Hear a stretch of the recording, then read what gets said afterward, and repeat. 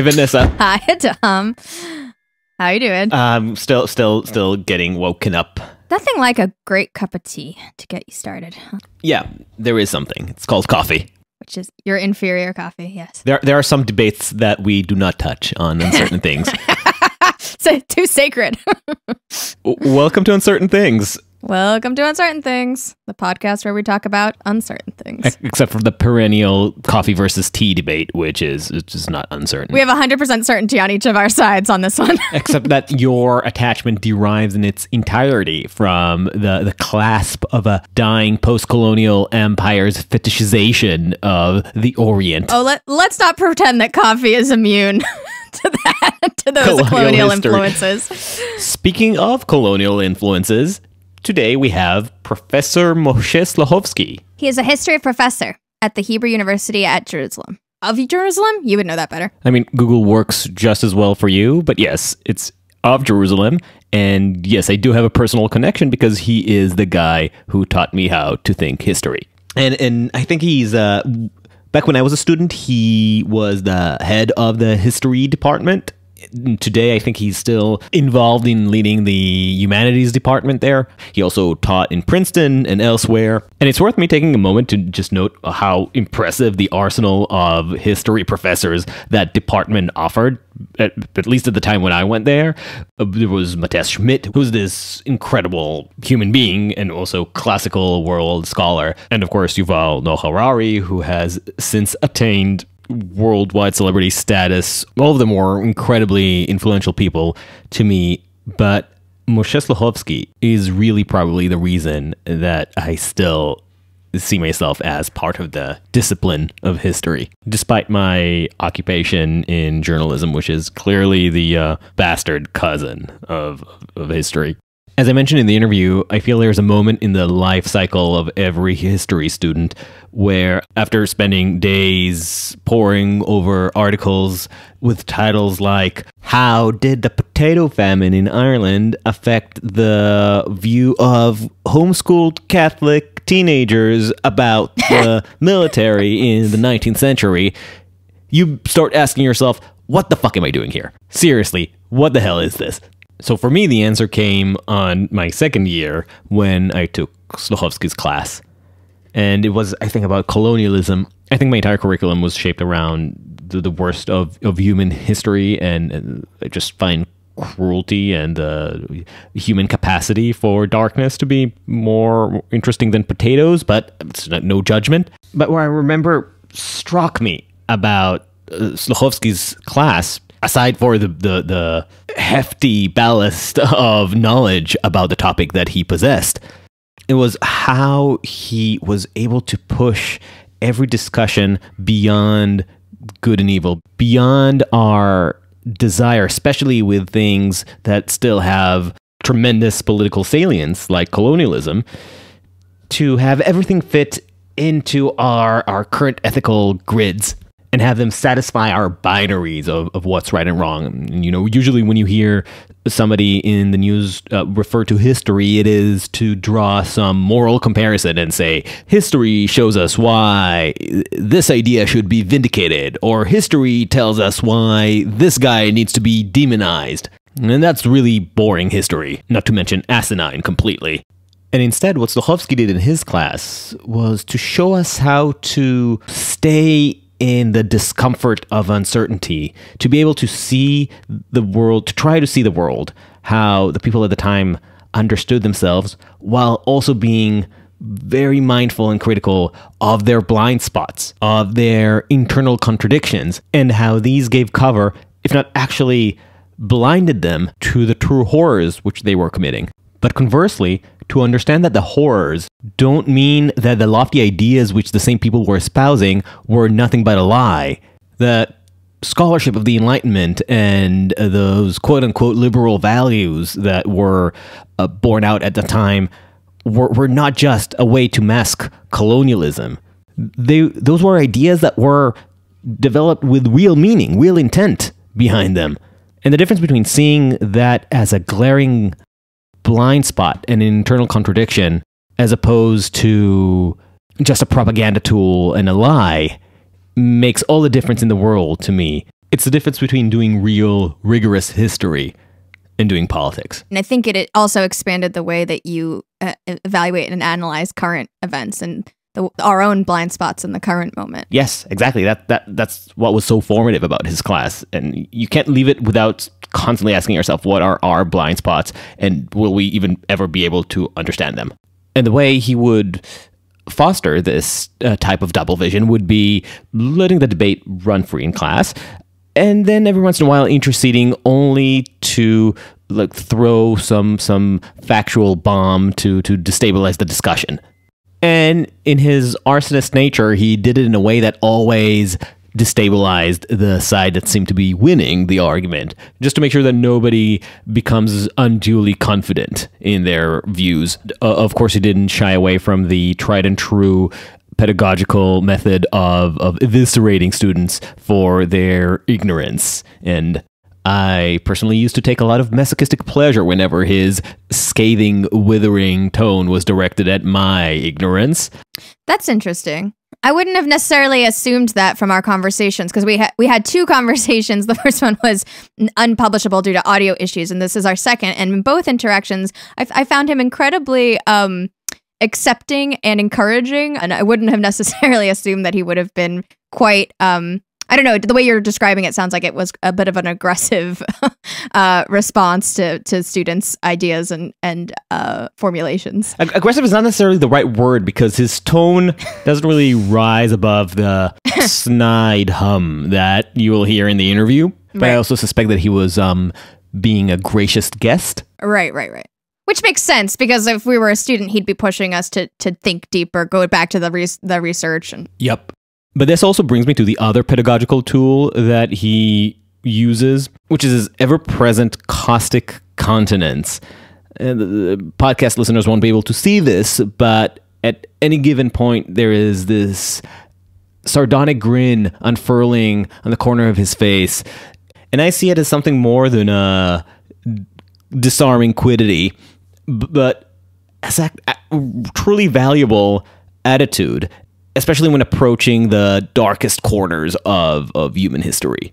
To be able to truly, studiously, meaningfully look into the abyss, mm-hmm. you need irony. Without irony, we are stuck with only white hot rage. That's unhelpful and pretty boring. right. Last thing I'll say in regards to this backstory is that the thesis I wrote for one of his classes back in 2011, 2012 was actually about uh, a progenitor of what now gets crammed under the title of critical race theory. I was interested in doing some survey of intellectual history, so I focused on changes that were happening in the American Academy, specifically around justice reform. And I was truly fascinated to to read some of the scholarship that pushed back against the axioms of a justice system founded on Enlightenment values, ideas like uh, uh, uh, liberty, merit, objectivity, and arguing that while these ideas pretend to be neutral, they in truth carry the weight and biases of the colonial project. And I found it fascinating, but I was also equally fascinated by the the pushbacks, and I and I uh, quoted several thinkers at the time, including I think Judge Richard Posner, who claimed that while we certainly need to reckon with the residue of colonialism. To completely append ideas like objectivity and, and liberty and merit would be, and I might be misquoting, uh, nuts.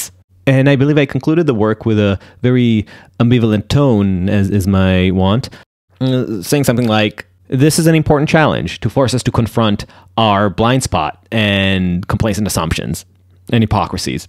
But I also added that if this becomes more than an analytical tool, if this becomes more than a means to expand our vocabulary and turns into a real program, then things could get really scary.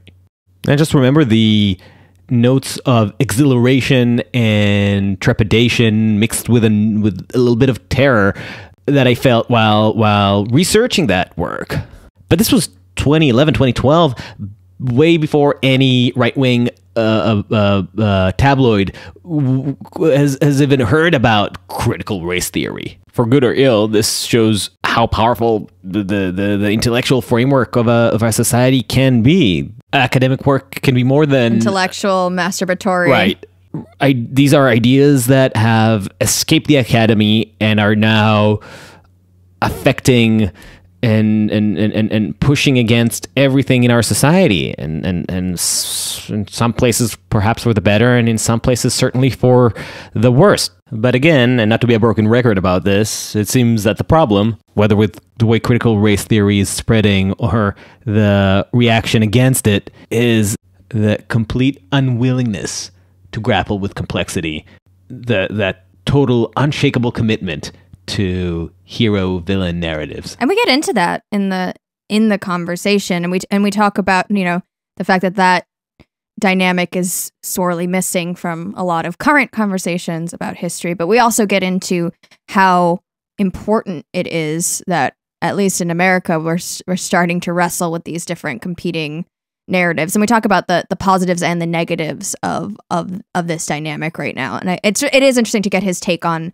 what's happening in history right now. Um, he brings up uh, different like historical debates that happened in the 60s and the 80s and the 90s and where where we are and how we're thinking about it. And we get into some really interesting stuff about wh- where he thinks we are as a as a young nation dealing with its you know traumatic past. It's a little funny now that I think about it because I, I basically invited him here to talk about the, the, the fields of history that, that I care about, not necessarily his main passions, but um, A, our podcast, our rules, and B, it's really his broader approach to history that I wanted to bring here. But uh, we should definitely uh, uh, bring him on again. and on that We bring you Moshe Sluhovsky. Hey, Moshe. Hey, hey, You're going to have to excuse me for not being able to look directly at you. I'll excuse you. You're excused. All right. We are giving this another shot. Let's start with the basics. Tell us about yourself. Rich, I don't remember anything what we did last time, and I tell you about myself. So I got uh, interested in history early, uh, very early on, and I have a good friend, childhood friend, who says that it was clear that I'm going to become a professor of history when I was already in middle school, maybe high school, and I don't remember it, but I thought I was going to become a psychologist, a clinical psychologist. But she obviously knew what she was talking about. I started history and psychology at the university, and really, within a year, decided I want to concentrate on history. I did my BA and MA uh, at the Hebrew University, BA in German history, and MA in medieval French history. Then got a PhD uh, here on the East Coast at Princeton in French early modern history. Early modern is the period between the Renaissance and the French Revolution. And uh, have been teaching uh, French history and religious European history, mostly history of Christianity, until about five or seven years ago, mostly in Jerusalem, when I got at the Hebrew University, when I got tired of the topic and went back to my first love, which has been German history, and that's what I've been doing again for the last five years German 20th century history. What's what what is it about history? And I'm asking you this as a and I'm not sure if I mentioned it in the previous conversation, definitely in one of our talks. But when I went to Hebrew University as as a lowly undergraduate, completely oblivious about what it means to go through academic life, it took me about two months to to dive into these existential questions of what the fuck am I doing here? Why? What is this all about? And it was only around my second year when I started taking your courses that the picture started to come together. I can start thinking, oh, oh, okay. So I'm wondering, what was it for you that convinced you that, oh, uh, this is something I'm going to be devoting my my life to? Great question and a difficult one because of absolutely, as you started asking it, I realized that I don't have an answer. It's something that has come, has always come really easy. I think that there is still a deep love of psychology there. So, in a way, it is psychology, but psychology of dead people.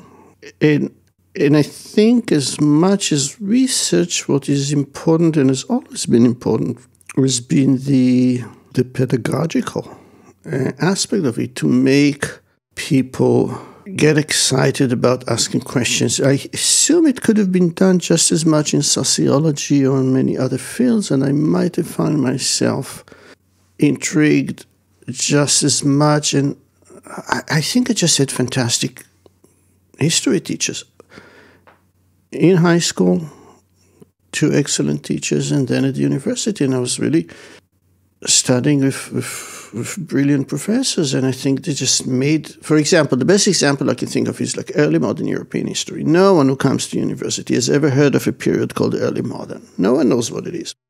Uh, people know modernity and medieval, and before was some dark ages, but in Greece and Rome. Uh, early modern European history is such a different, strange category that really only exists in academia, doesn't exist outside of academia. I had no idea what it was all about. And I was exposed to two professors that made me fall in love with the complexity of topics, of developments, of processes that took place within these three or four hundred years between 1450 and 1650 or 1700. And I said, wow, but it was totally conjectural. Can we? Can I ask what what's so oddball about this era? Um, p- partly because we. No, let me let me do. Let me answer you historically. It used to be called. People have always been interested in it because it used to be called back in the old days, from Renaissance to the Enlightenment, or Renaissance and Reformation, and it was the glorious period of Western civilization, right?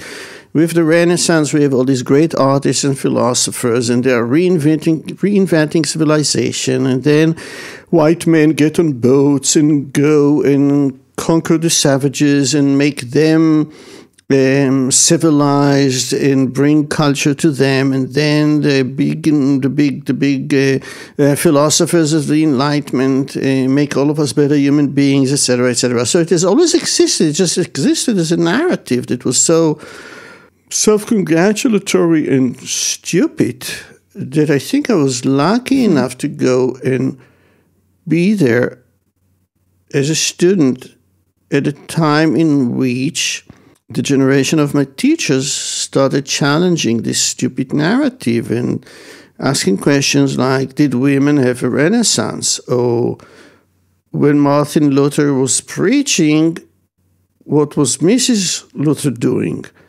Or did the Native Americans, or as they called them, Indians, really welcomed Western civilization the way we assumed that they must have or should have? Um, so there was a moment in which a lot of new questions were asked about this specific period, and I think there was a sense of discovery of newness to it um, that was absolutely exciting. I said I wanted to be an historian of 20th century uh, German history and German Jewish history. But the Holocaust, of course, overshadows it. And I didn't feel that there was anything new I could say. Um, today, of course, I know that there is a lot of new things to say about everything.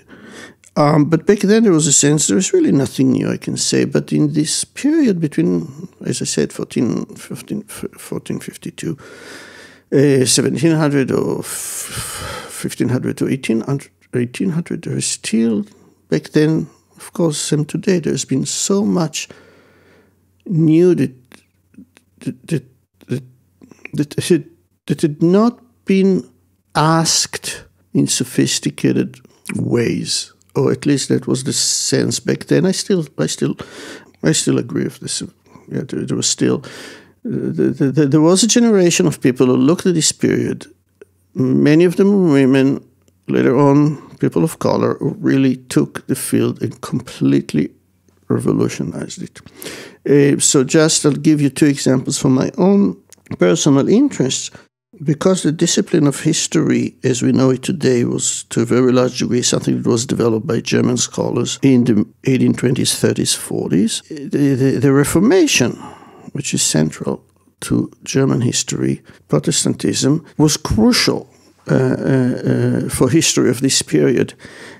And the German historians created a model in which there are two things. There was the Reformation and there was the counter Reformation. The Catholics are the evil guys. The reactionary. The reactionaries. When I got into the field, people were just about to stop calling it the counter Reformation and started calling it the Catholic Reformation. And to ask in what degrees did Catholicism itself change between 1500 and 1800.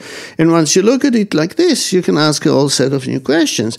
I earlier mentioned the question of did women have a renaissance? Up until then, no one knew anything. No one could say anything about the female scholar of the Renaissance. Today we know that there are painters and there are authors and there are poetesses. They had not existed in the canon before the 1970s and 80s.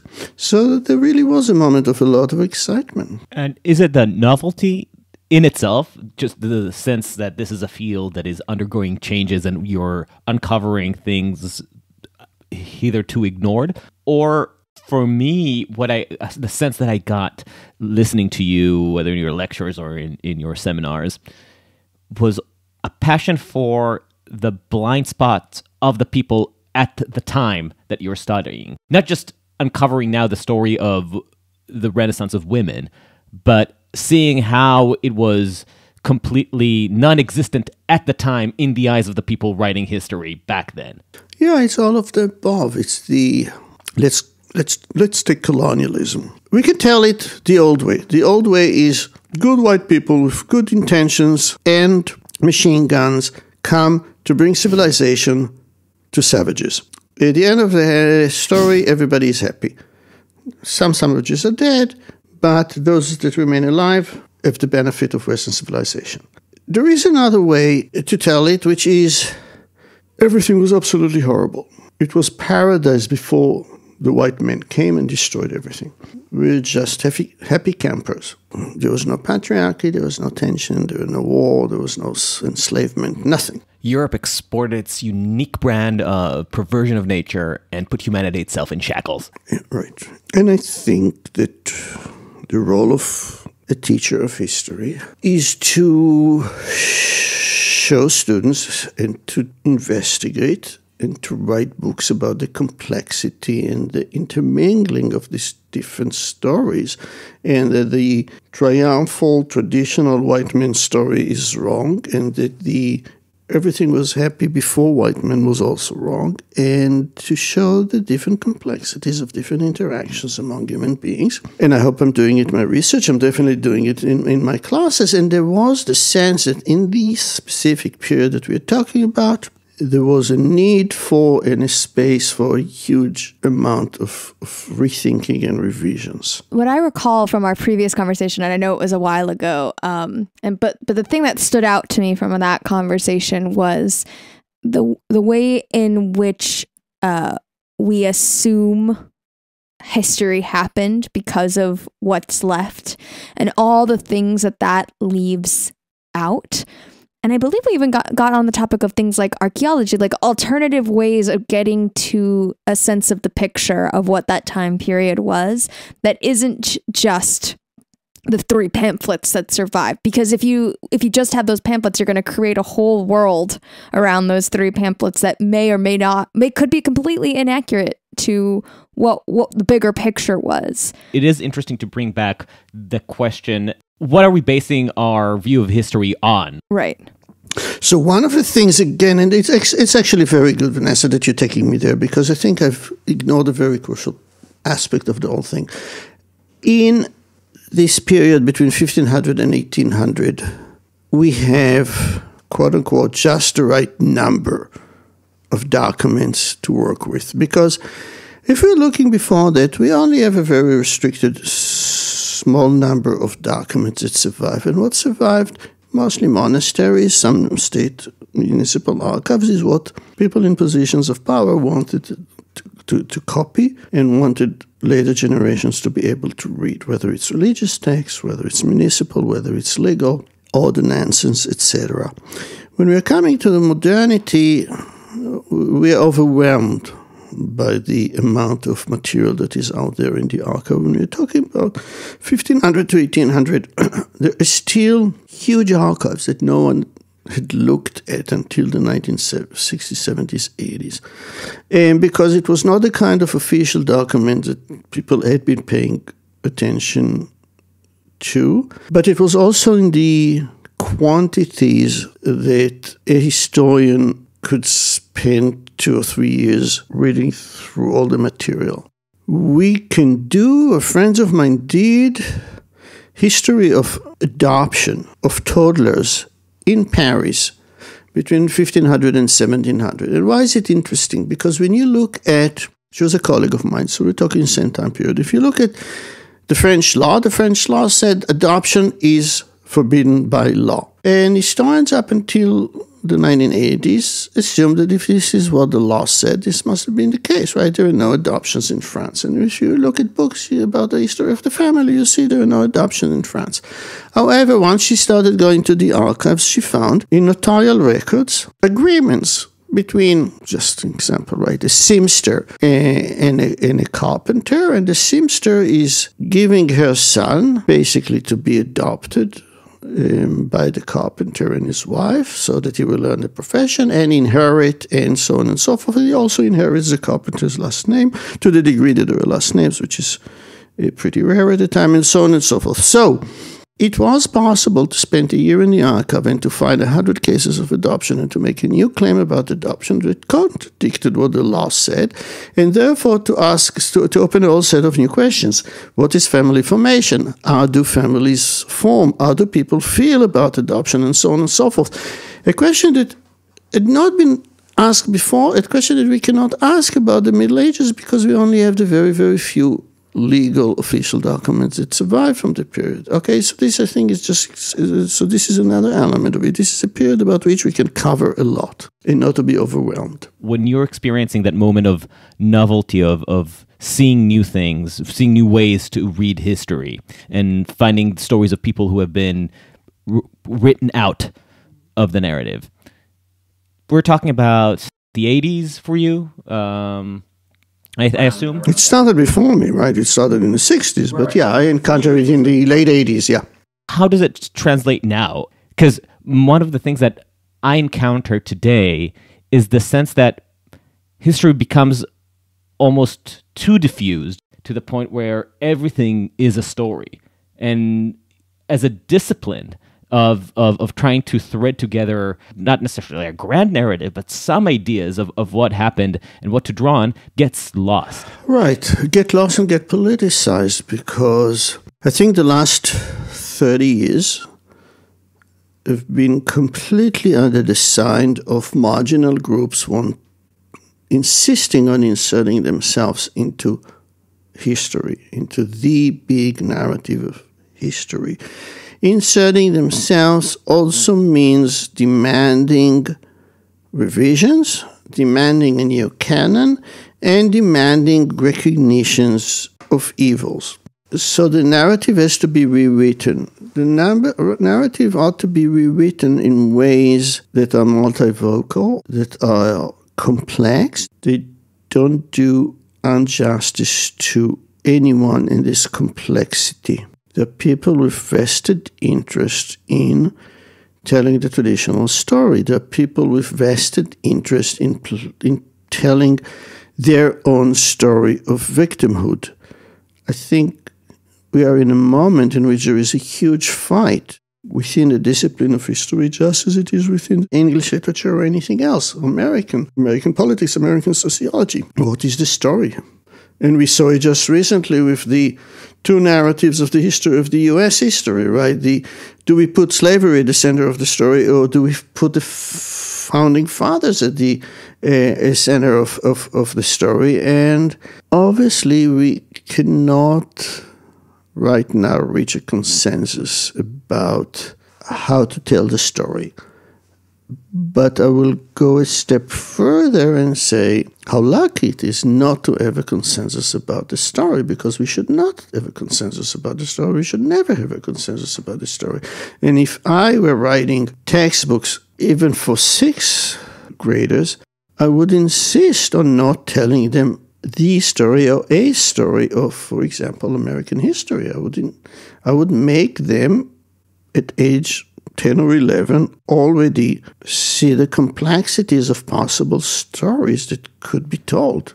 I guess it highlights the difference between what you might call the hard sciences and history, because it reminded me of the controversy in, I think, 2004 around the attempt in, in several American school boards to introduce intelligent design as a means to backdoor creationism. And an argument you'd hear all the time on the creationist side was teach the controversy, teach both intelligent design and evolution.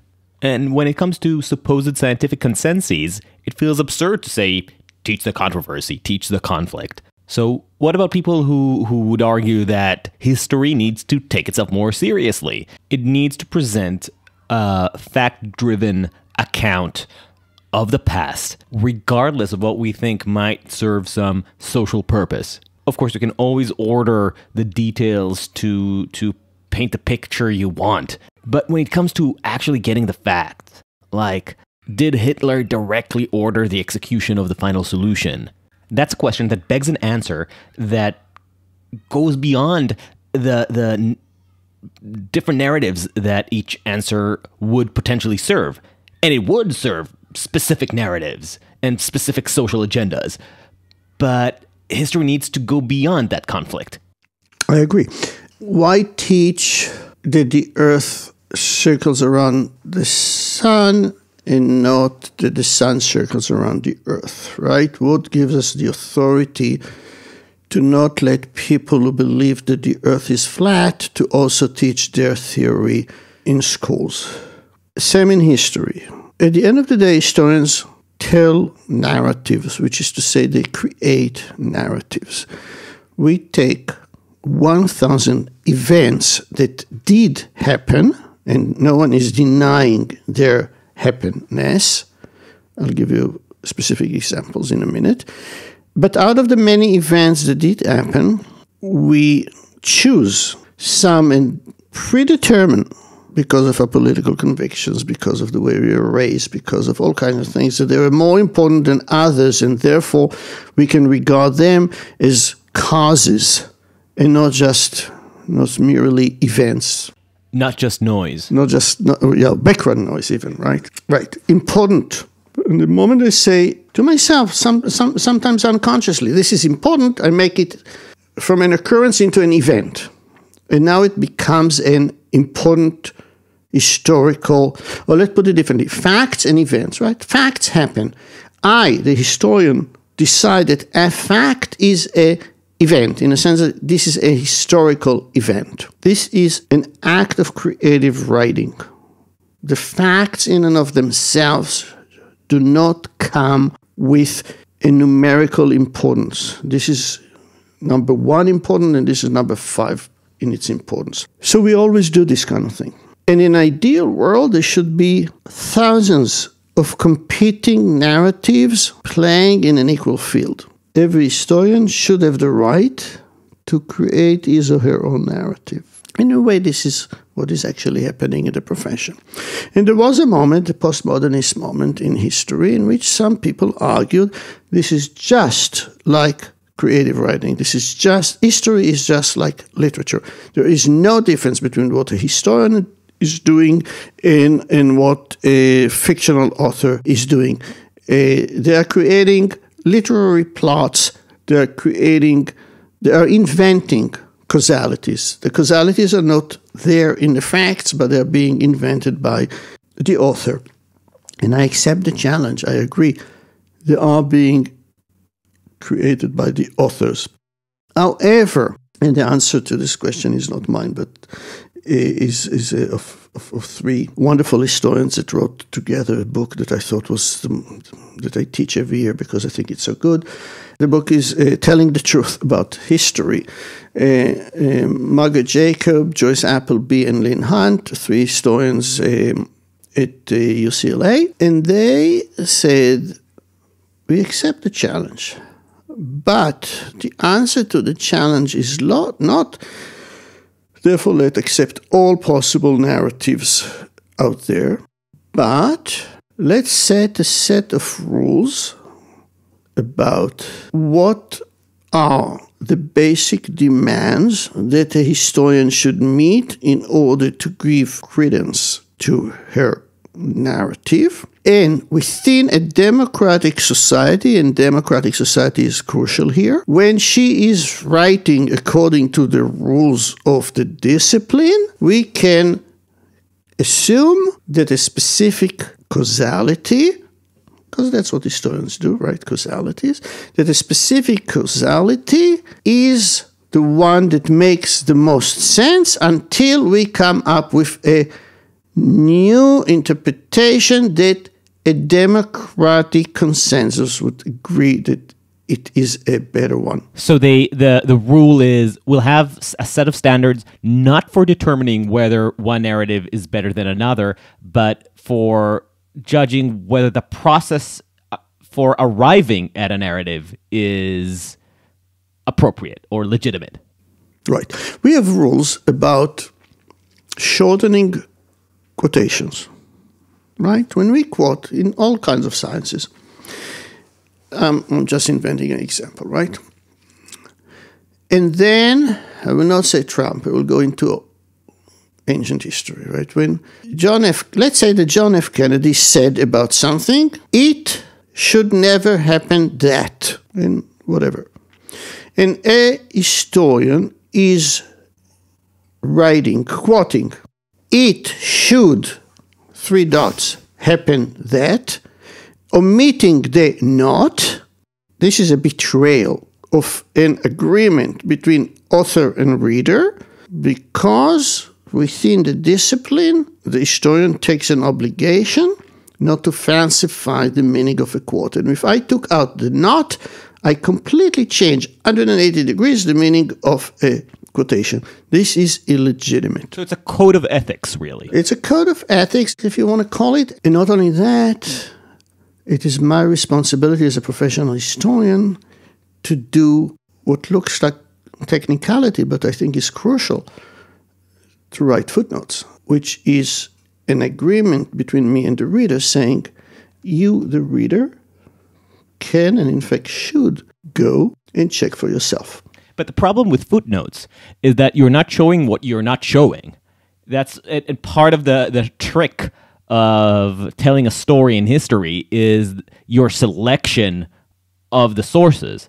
If you want to tell a story about um, the Trump uh, campaign to to delegitimize Biden's election. You can go through all the thousands and thousands that you know it opens up a whole conversation of, of, of the superfluity of, of information in the digital age which is what we just talked about with martin gurri but you go you can take all those tweets and and affidavits of people saying that they witnessed election tampering and put all of it. It's a very compelling case if you're not showing all the judges who struck it down. Mm-hmm. It contextualizes with these are people that have been primed to see this. All the all the points of doubt that belong in this story could easily be omitted to tell a very compelling argument that the election was stolen from Trump. Sure, I agree. And therefore, within a democratic society, over X number of years, a consensus will develop among professional historians, determining the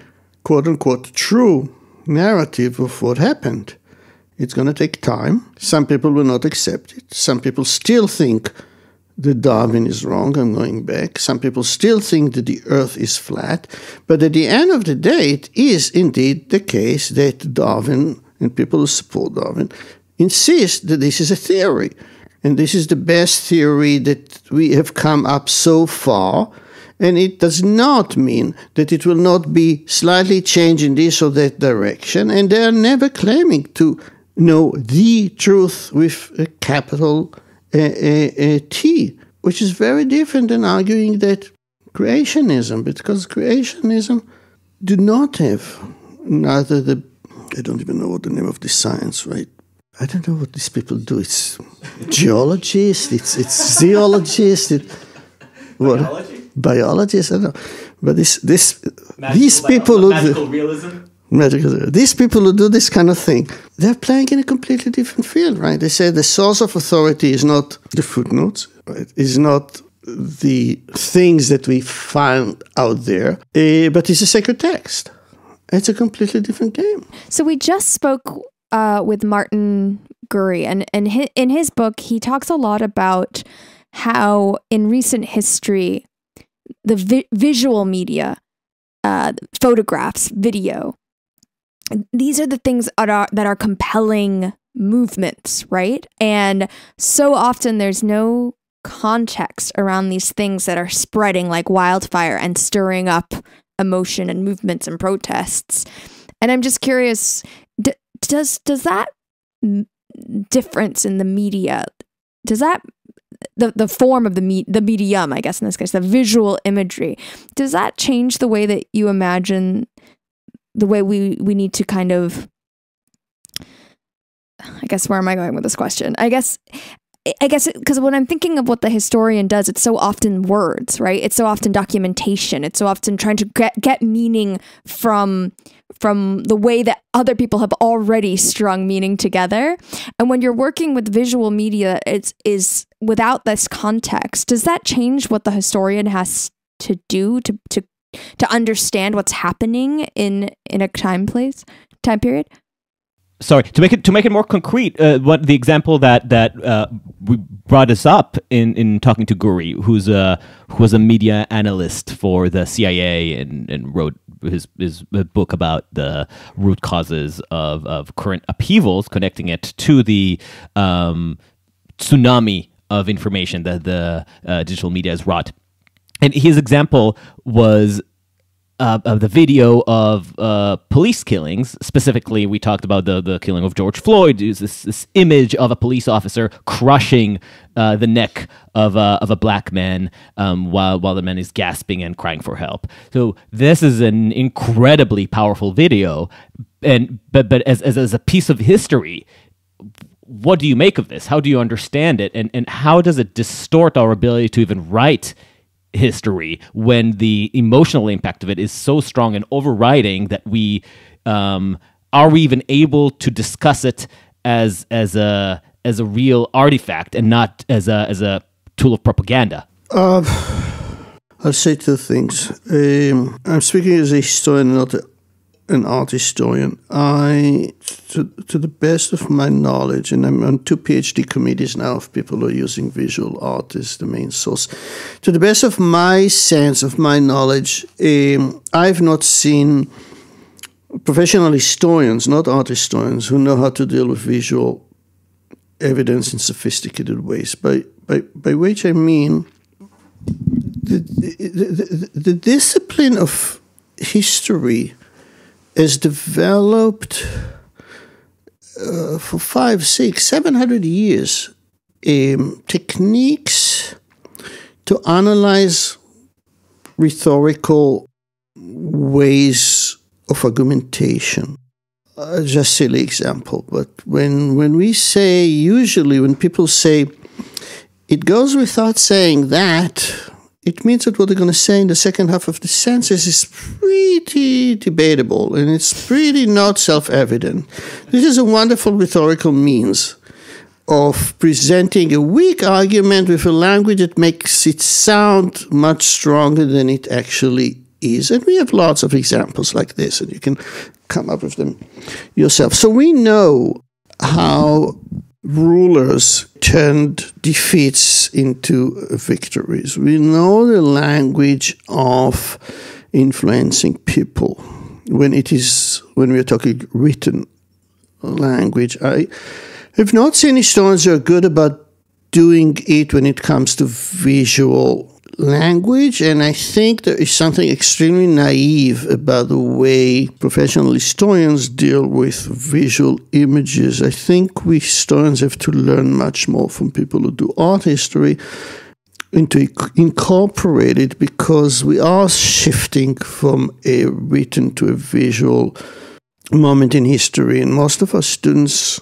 experience the world in images and not in written texts. I think my nephews cannot probably even identify the ABC but they are much smarter than I am in analyzing images. So, uh, so we have to work harder. We historians have to work harder. We have to learn from art historians, film historians, and so, so on and so forth. I assume, from the little I know, that again, this is a language. The visual language is also a language that is extremely, extremely easy to manipulate. So, where is it heading? I have absolutely no idea.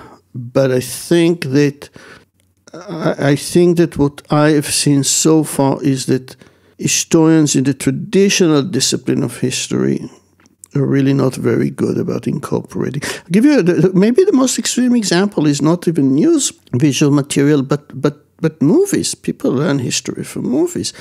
Historical movies uh, are, are, are most of the time superficial, simplistic, one dimensional, and wrong. But this is the source of historical knowledge for, for, for 99.9% of the people in the world. What should professional historians do about it? I don't know. Can they do anything about it? I don't know. Does it make historical movies uh, uh, wrong? No, there's nothing wrong about them because professional historians wrote wrong, mistaken, falsified narratives, written narratives for as long as they have been writing history. So, so it's not that there's something new here. It's just something that that is extremely challenging, and that we professional historians are just not not good at it yet. The one thing that I would say might be new that we're not fully grasping yet is that we we haven't evolved not just as a discipline of history, but as a people, the skills needed to be critical of the visual mediums um, as we have when it comes to texts. We are just as people better at reading text and be a little critical. Who wrote it? Why, when was it written? What's the the agenda there? Uh, the emotional, the visceral effect of of watching a movie can completely override our our intuition for for judging veracity, and we just we just accept it. The I know it even about myself when I try to be critical about a, a, movie. But if I watch a historical movie, that the, the the depiction of that character in that movie will probably stay with me. And whenever I will think about this historical character in the future, I will still imagine the actor portraying them in the movie. And that's that does a lot. That does a lot more than I think we're we're even beginning to fully understand. I mean, there there have been you know 50, 60 years of uh, uh, scholars gra- grappling with this topic. But I don't think, as, as as a society and even as a discipline, we've reached a point where we're truly um, um, um, um, grasping the how how much we are constantly being manipulated by this. Hmm. And and it's not just the veracity, right? It's to to Moshe's earlier point. It's like it's there's such a lack of complexity in the way that these these not these historical films are being are being told because they're trying they're and it it says so much more about our current moment and how we are interpreting these past events to fit into some sort of tidy story that makes sense for our current moment rather than embracing what would have been a very, probably a much messier more complicated uh, reality uh, because that's what we're looking for right now And conversely, it explains our general discomfort with the type of paradoxes, contradictions, and dialectical tensions that we care so much about, yeah. and, and Chloe mentioned in our talk with her, and, and that Moshe was um, discussing. And I want to recommend to you the best historical movie ever made that deals with this issue, which is Walker. The Walker is about the American occupation of Cabacos is a racist pig, I don't know, but I think it's Nicaragua, but one of the small states in Central America, in order to build a canal.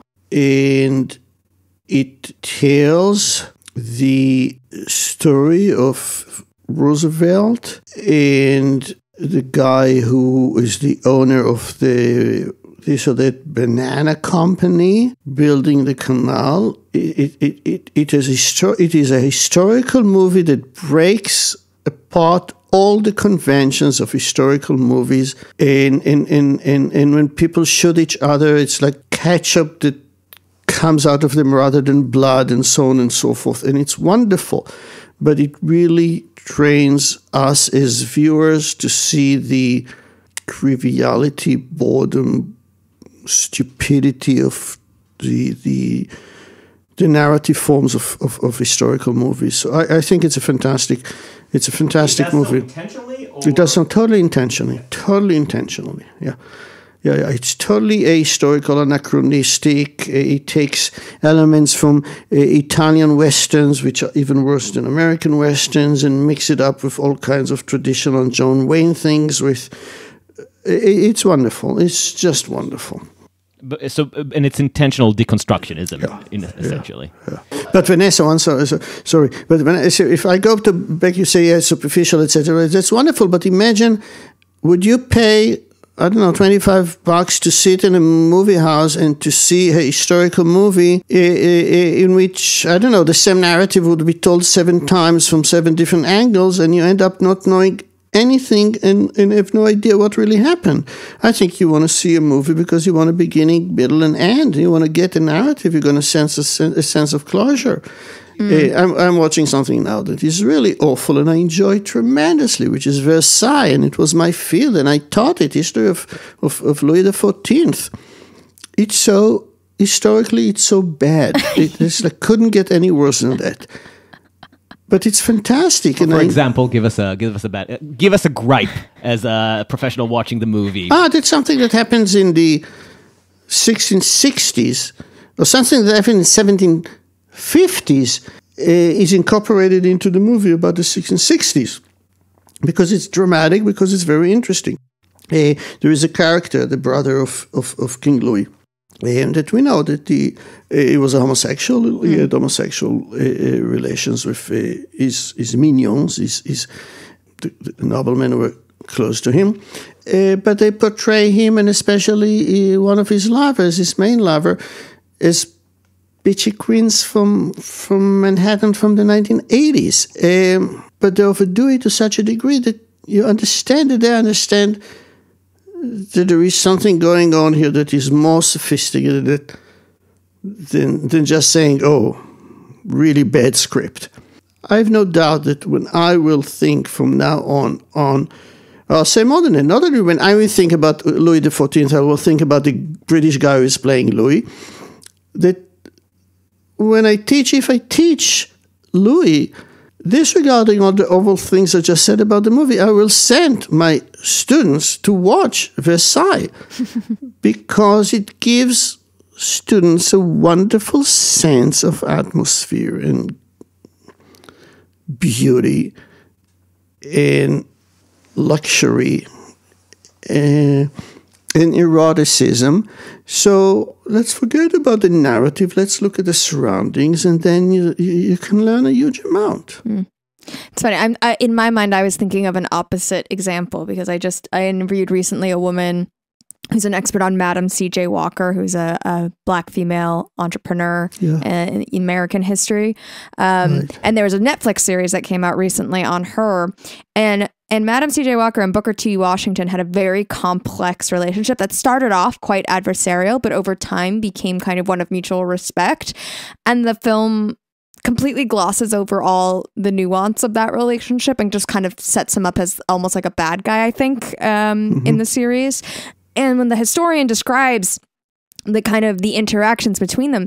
It's such a powerful story about how this woman was able to overcome the kind of gender stereotype that this man had about her. And over time they became like kind of like a, a, force to be reckoned with together. And she was just so disappointed that in the in that kind of like hollywood rendition all of that nuance is taken away all of the complication of the relationship is taken away and they just kind of become you know angel villain and you just you because she's the protagonist of this particular story they they kind of you know make it super simple. And and that's kind of more what i was imagining and thinking of you know the negative side of the way we the when it gets too tidy that's kind of just i think indicative of a lot of the ways we think about uh history and the complications of of having uh, competing narratives in one in one life story.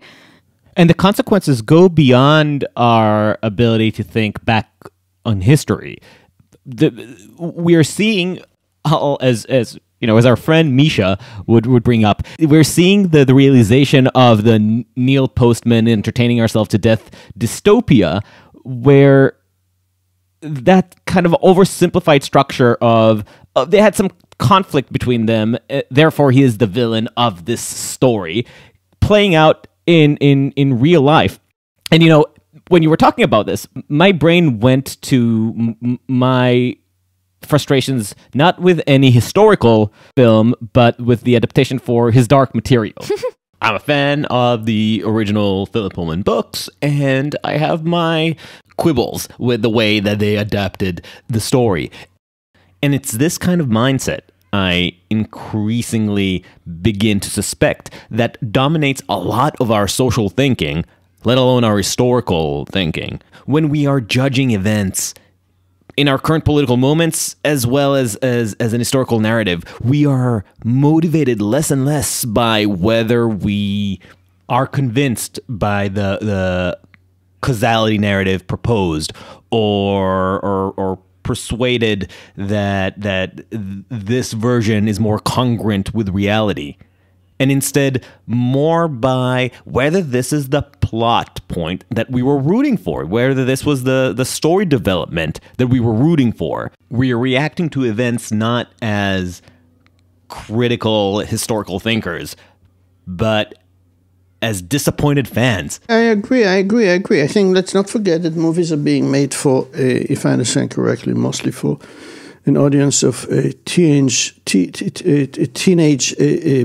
boys, aged ages I don't know, fourteen to nineteen, whose maturity is doubted and is and their IQ is pretty low. So, uh, so, so, in that, but but they are the audience. You have to appeal to them if you want to make money.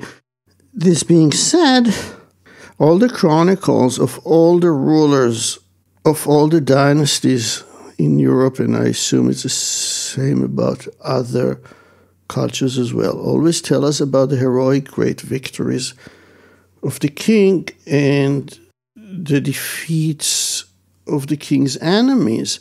So it's not that there is something new here in creating one dimensional stupid narratives of good guys, bad guys. We've lived through it forever and ever.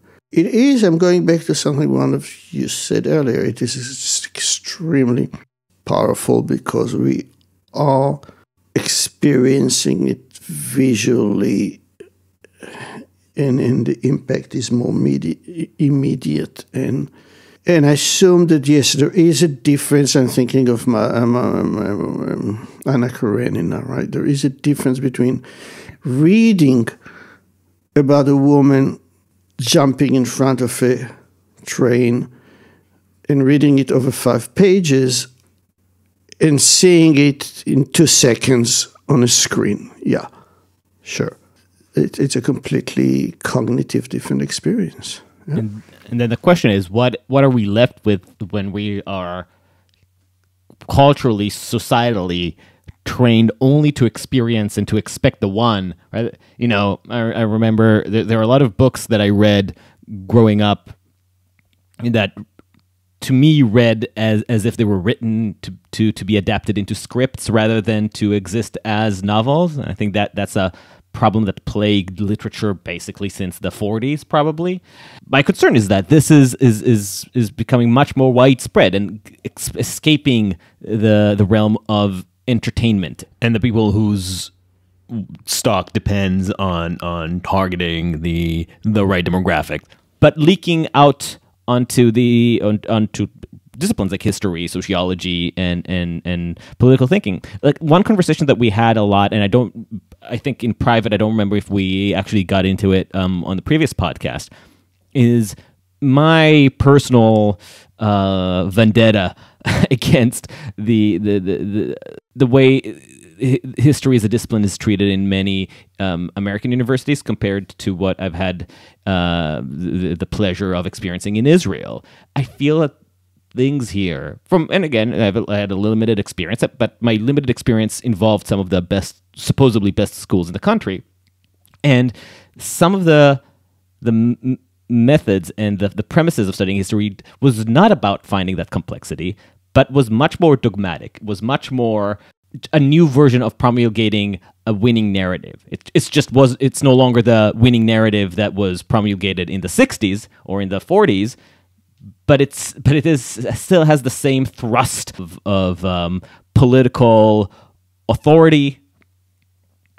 And I don't know, maybe maybe it's just the nature of of academia in the U.S.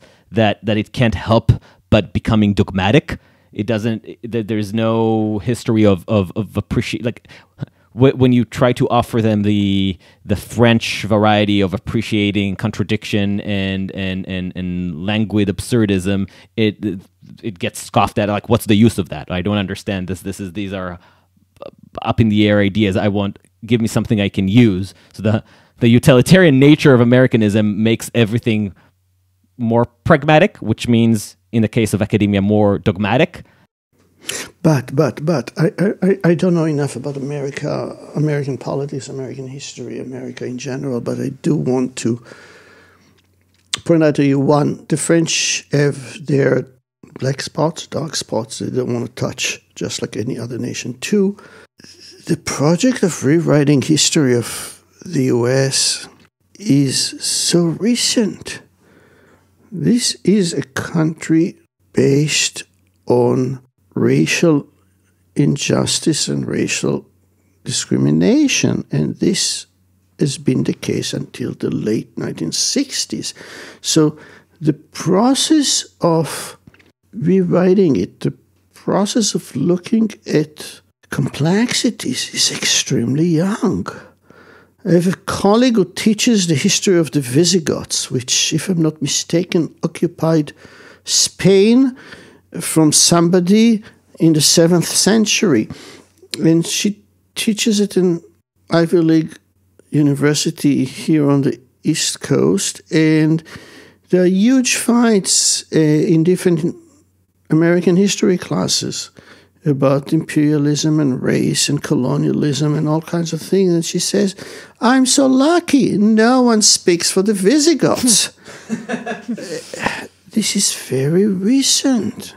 In so many of the so many of these fights in European history were fought hundreds of years ago. Mm.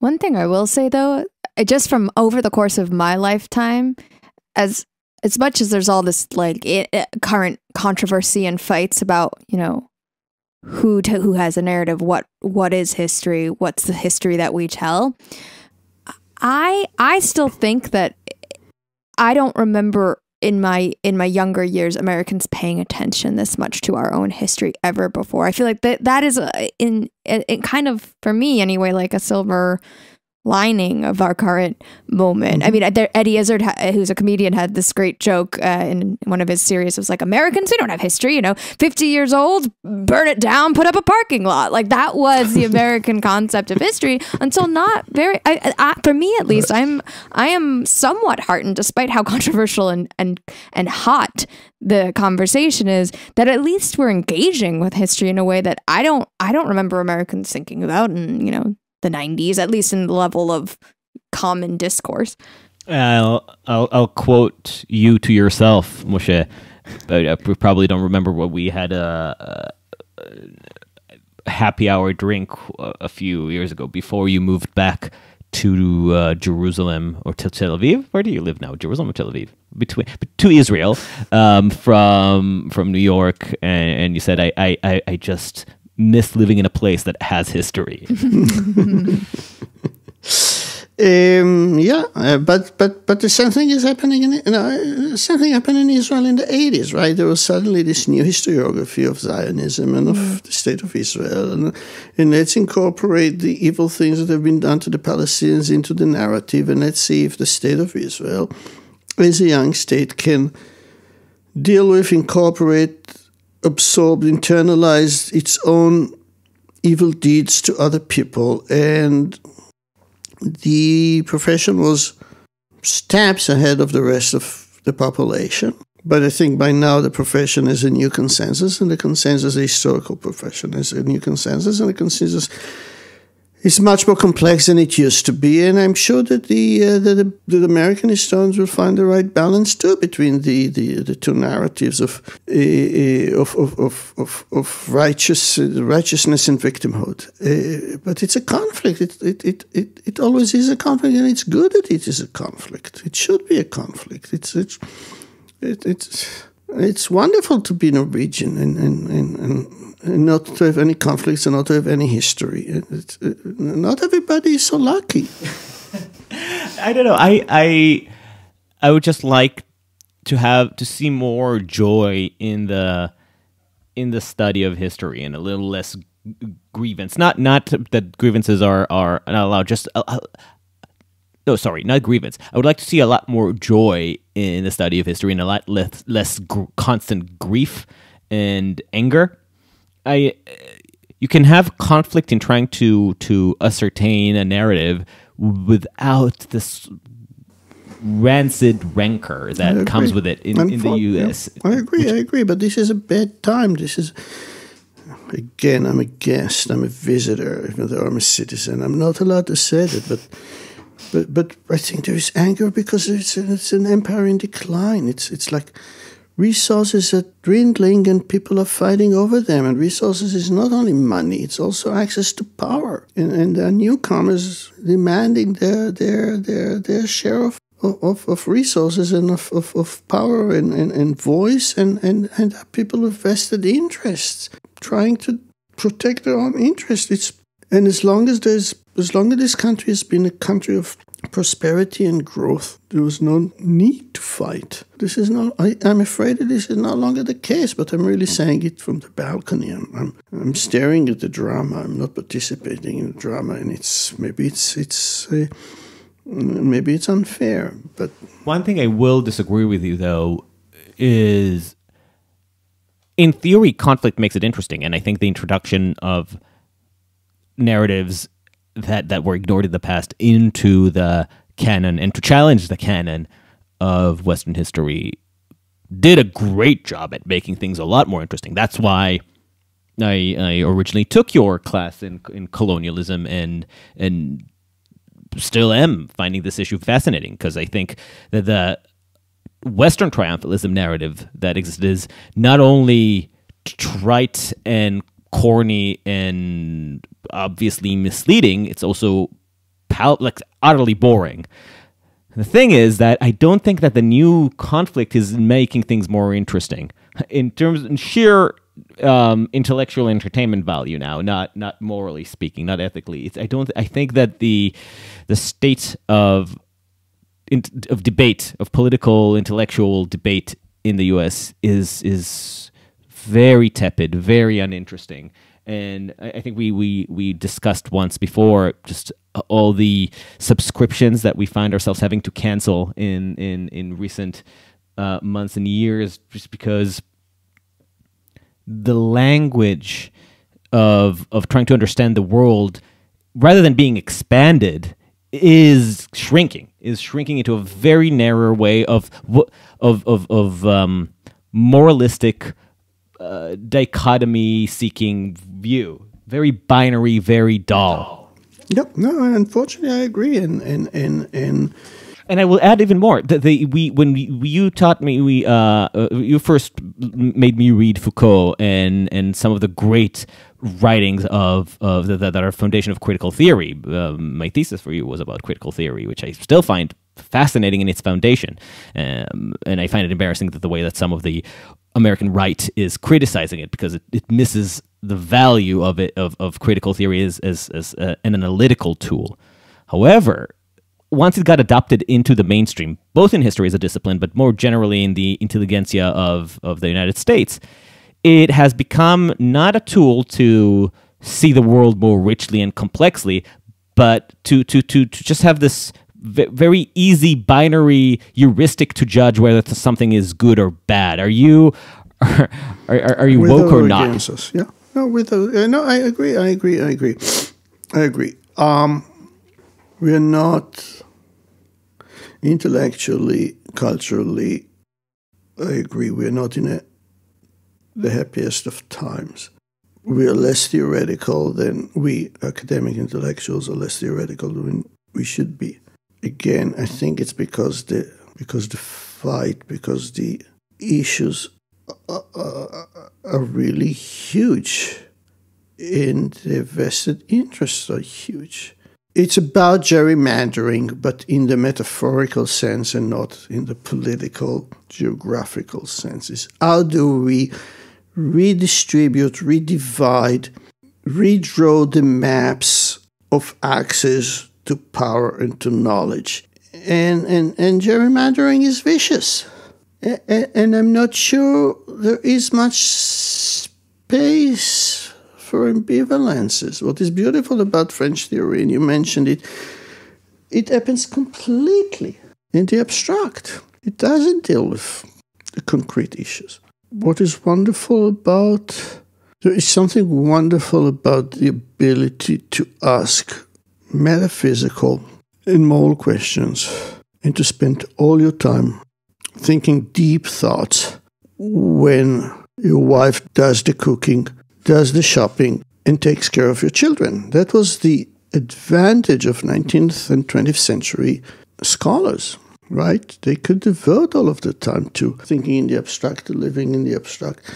We're no longer there. You cannot not dirty your hands because we are aware of the fact that we are living in the world and therefore have this or that amount of responsibility and this or that amount of even guilt. I'm constantly flying. I'm constantly consuming resources from next generations, right? I'm dooming them to die. This is a moral issue. I deal with it by ignoring it, but this is a huge moral issue. I think most of us, most of us are like this, and I think Europe has gotten used to it over a long time, and the US is just starting to deal with this kind of issue. So I'm not talking about the fear of flying. I'm talking about other manifestations of it, which, as I called it earlier, right, the, the, the gerrymandering of, of, the, of the country, the distribution of, of, of intellectual resources. So it's possible that the sort of open, joyful wallowing in the in the ambivalence that I seek mm -hmm. from history and from intellectual pursuit might be a thing of the past. A privilege that that we we just can't. A privilege of when everybody knew their place. Yep, absolutely. Look, um, I have a student now who is writing about a non-political topic, a great topic: sex in public spaces in Paris in the 19th century. What could be what could be best? urinals, bushes, benches, street corners, roofs. It's a, one could argue that it's completely apolitical. It's just sheer fun, and it's wonderful. When you think about it, or when I force him to think about it, you see how political it is, right? Mm -hmm. Because it is about young people living in extremely small apartments with only one bedroom, with girls having to preserve their virginity, otherwise, their fathers will kill them, and boys are scared to death of getting girls pregnant. And the only place to have sex is on the roof or in the basement or in the drive drive-in but uh, no, they didn't have any drive-ins in the 19th century.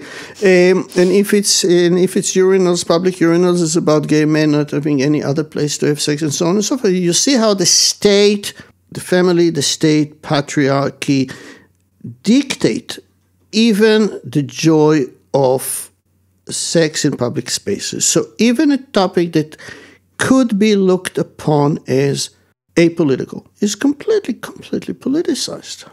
To think intelligently historically means to be aware of the extreme politicization of, of absolutely everything, for good and for bad, because we can also not say the opposite, right? We cannot say, oh, we don't want a state to intervene. We want a state to intervene. We want the state to prevent husbands from raping their wives. We want the state to get into the bedroom and arrest this husband. So even this is completely complex, right? And there is no black and there is no white. We cannot say, oh, the state has nothing to do in the bedroom. The state has a lot to do in the bedroom. But then we have to say, oh, when does the state, when should the state get into the bedroom? When shouldn't it? It becomes, again, a matter of access to power, access to conviction, convin- conviction, in, in, in, in, in a space of disagreements. Of course, it's contentious. Thank you, Moshe. I'm going to invite you again to talk specifically about sex and power. I think that's an, another issue that we wanted to Yeah, get into. So, if you do decide to wait here until you get vaccinated, well, we'll hopefully see you again soon. Thank you, Not Next time I come, I'm not off here, but I do have reasons to come here. Thank you for listening to Uncertain Things. Follow us on uncertain.substack.com and wherever you get your podcasts. We are Uncertain Pod on social media. Please give us a five star rating if you're listening on Apple Podcast and share it with your friends and enemies. Until next time, stay sane. I have no tea to sip anymore.